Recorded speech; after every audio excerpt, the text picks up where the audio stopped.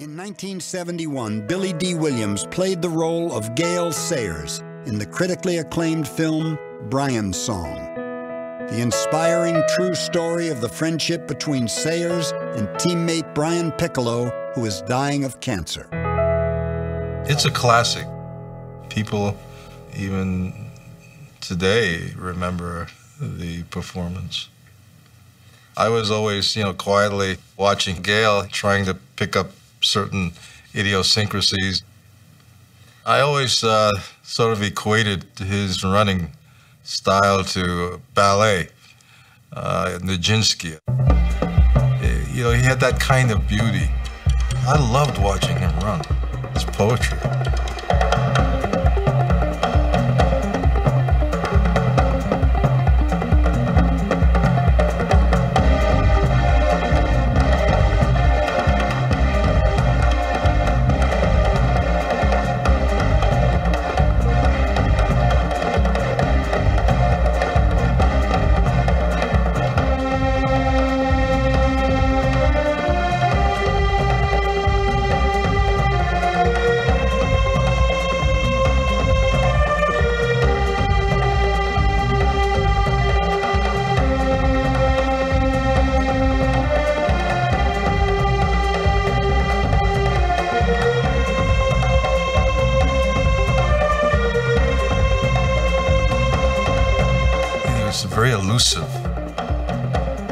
Unlike like let's say Jim Brown, who was, you know, he carried about 14 people on his back. when he ran, it was like watching one person turn into two people. In 1965, the Kansas Comet had the 49ers seeing double when he blazed across a rain-soaked Wrigley Field, scoring six touchdowns to tie the NFL single-game record. Give me 18 inches of daylight. That's all I need. I never went on a practice field and worked on faking left, going right, or turning around, that type of thing. Many times there'd be a fellow coming from my blind side, and no way I could see him, but I could feel him. There's times that I would make a move, and I couldn't explain it, but you know, it's a God-given instinct to do things like that.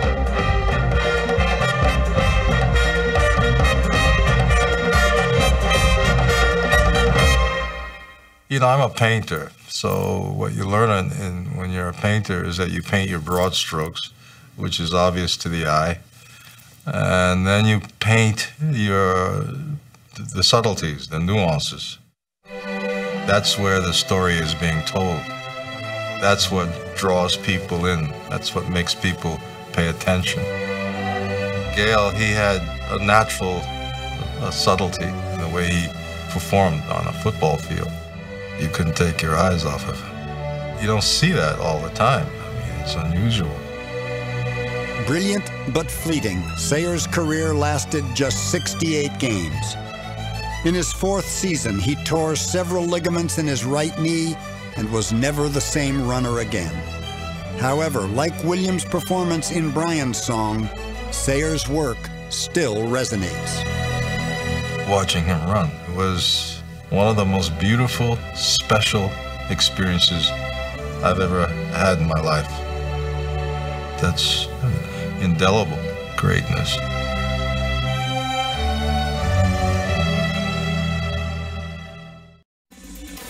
The number four rookie season of all time, Gale Sayers.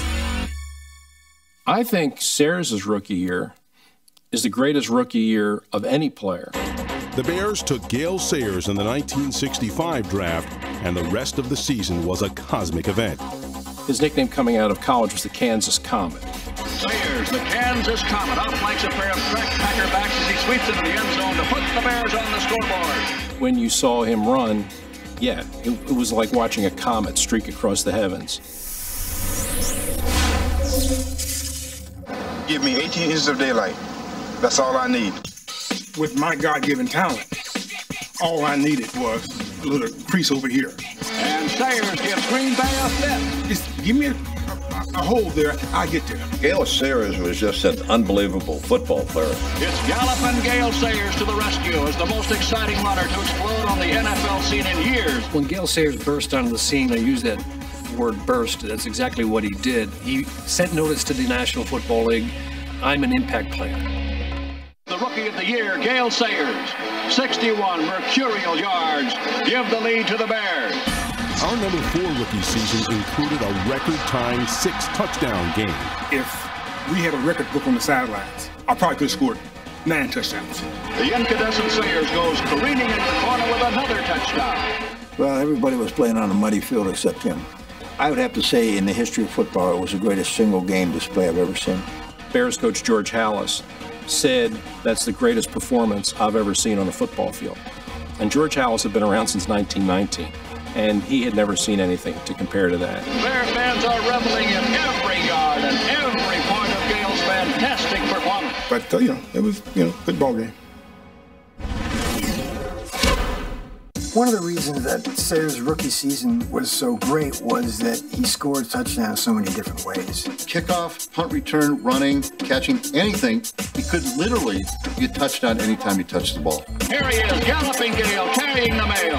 He was immediately the best kick returner in all of football, and that's both kickoffs and punts. I mean, he averaged over 14 yards per punt return, and he averaged more than 30 yards on a kickoff return.